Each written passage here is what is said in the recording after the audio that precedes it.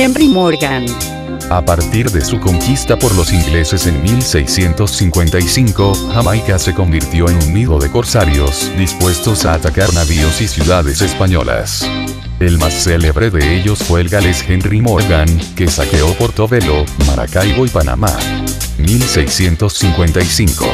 Una armada inglesa atravesó el Atlántico y se adentró en el Mar Caribe.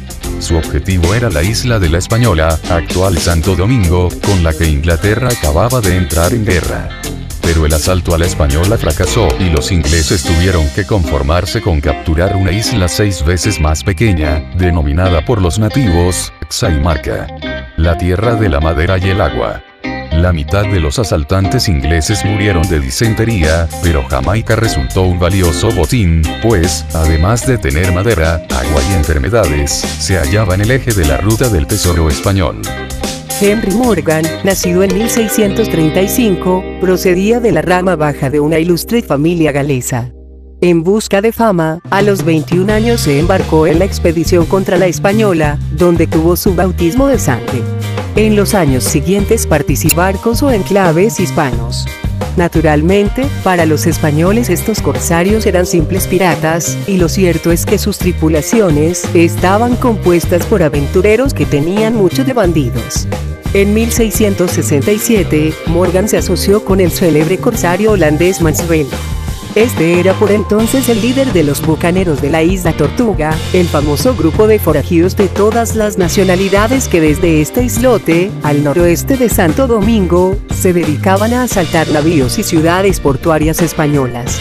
Mansfeld murió poco después, quizá ejecutado por los españoles, y Morgan lo sucedió como jefe de los bucaneros y de su hermandad de la costa. Fue así como, desde su base jamaiquina de Port Royal, la ciudad más rica y corrupta del mundo y última parada de criminales y fugitivos, Morgan puso su mirada en las riquezas de las ciudades caribe español. Corría el año 1668, cuando con la excusa de desbaratar un plan español contra Jamaica, Henry Morgan puso rumbo a Portobelo, el puerto del tesoro. Situado en el actual Panamá, Portobelo estaba protegido por la línea de fuego de tres castillos, con una guarnición escasa pero aguerrida. Los 400 bucaneros de Morgan lanzaron un ataque nocturno por sorpresa, y al alba habían tomado el primero de los fuertes, mientras que el segundo estaba a punto de caer en sus manos. Los piratas carecían de los escrúpulos de los militares profesionales, como demuestra el hecho que Morgan emplease mujeres, ancianos, monjas y frailes como escudos humanos para tender las escalas de asalto. Poco después en la torre ondeaba una bandera roja y colgaban los cadáveres de 50 soldados españoles ahorcados. Señal evidente de que no habría cuartel para los sitiados. En el transcurso de la jornada, el tercer fuerte se acabó rindiendo. En los días siguientes, Morgan y sus hombres saquearon la ciudad. Los habitantes que se resistían a entregar sus riquezas eran torturados despiadadamente. Cuando el gobernador de Panamá se presentó ante Portobelo y amenazó a los piratas con capturarlos y ejecutarlos, Morgan respondió, por más que su carta no merezca respuesta, puesto que me tacha de pirata, le escribo estas líneas para rogarle que no tarde en venir. Le aguardamos con sumo placer, y disponemos de pólvora y balas con las que recibirle. Si no viene pronto, nosotros, con el favor de Dios y nuestras armas, iremos a hacerle una visita a Panamá. De vuelta a Port Royal, los bucaneros invirtieron las cerca de 250 mil piezas obtenidas del saqueo de Portobelo en Kid de un ron capaz de matar al mismísimo diablo. Pero Morgan no descansó mucho tiempo. Pese a la amenaza de una armada enviada contra él por el gobierno español, el marino ya les organizó una nueva expedición. Congregó a 900 hombres y citó a la plana mayor de los bucaneros en su cubierta. Su intención era tomar Cartagena de Indias. Pero esta vez el diablo se puso de parte de los españoles ya que, durante una noche presidida por el ron, el fuego prendió en la Santa Bárbara de la nave, que saltó por los aires. Morgan sobrevivió, pero no así el plan de tomar Cartagena. En su lugar volvió su mirada a otra presa muy apetecible, Maracaibo, en la actual Venezuela.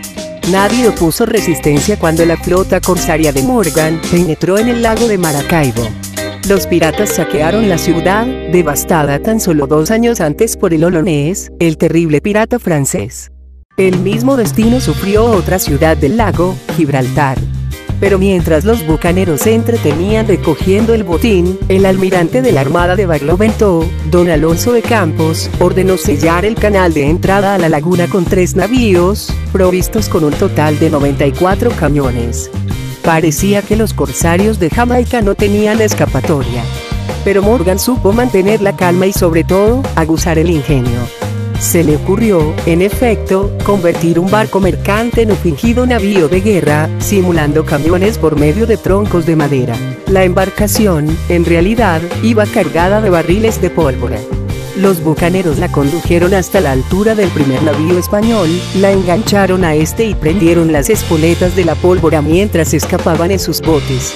El bajel español quedó reducido a cenizas. El segundo navío hispano naufragó al intentar la huida, y el tercero fue presa de los piratas. Durante los siguientes dos años, Morgan permaneció en Jamaica llevando una vida de caballero latifundista. Las autoridades británicas habían dado instrucciones de evitar las acciones de piratería contra los españoles, y el galés debió suspender su actividad corsaria pero a finales de 1670, como represalia a un ataque de un corsario español, Morgan preparó una nueva expedición. Su objetivo esta vez era Panamá. La noticia se difundió por todo el Caribe y cientos de bucaneros acudieron al punto de encuentro que había fijado el corsario galés en el sur de la isla Tortuga. Allí se congregaron 50 naves y 1500 piratas, además de una hechicera. Los navíos de Morgan recalaron en la desembocadura del río Chagres, en el istmo de Panamá, donde conquistaron una fortaleza española. A continuación, los bucaneros debían cruzar a pie el istmo para llegar a la costa del Pacífico, donde estaba Panamá. Durante 10 días atravesaron montes, ríos y pantanos, padeciendo hambre, enfermedades y emboscadas. Finalmente arribaron a Panamá, una de las ciudades más ricas y prósperas de la América Española estaba defendida por 1.200 soldados de infantería y 400 de caballería, bajo el mando de don Juan Pérez de Guzmán. Morgan entendió que sus hombres, cansados por la travesía, poco podían hacer en un choque frontal y resolvió atacar por el lado menos previsto. Las fuerzas panameñas salieron en su persecución, pero sufrieron una devastadora descarga de proyectiles. El plan secreto de los defensores, consistente en lanzar una manada de bueyes en estampida, no hizo sino aumentar el desconcierto. Vencida la resistencia extramuros, los bucaneros lograron entrar en la ciudad y tras unas horas de lucha en las calles se hicieron con su control. Pero entre tanto se declaró un devastador incendio, no se sabe si por orden de Morgan, por orden del gobernador español o por accidente. El Panamá viejo ardió hasta sus cimientos. Tras la marcha de Morgan la ciudad se debió reconstruir en un nuevo emplazamiento. Morgan y sus hombres permanecieron tres semanas en Panamá, dedicadas como de costumbre a amasar botín. Sin embargo, el gobernador español había tenido la previsión de cargar todo el oro y la plata en barcos con rumbo a España, y aunque el botín no fue pequeño, muchos bucaneros se sintieron estafados en el reparto final y se quejaron de que habían ganado menos que en el ataque contra Portobelo. Además, Morgan partió con algunos fieles, abandonando al resto de piratas en el río Chagres. Las cosas habían ido demasiado lejos, y quizá lo más beneficioso para Morgan fue que al volver a Jamaica fuera arrestado y enviado a Inglaterra para ser juzgado como pirata.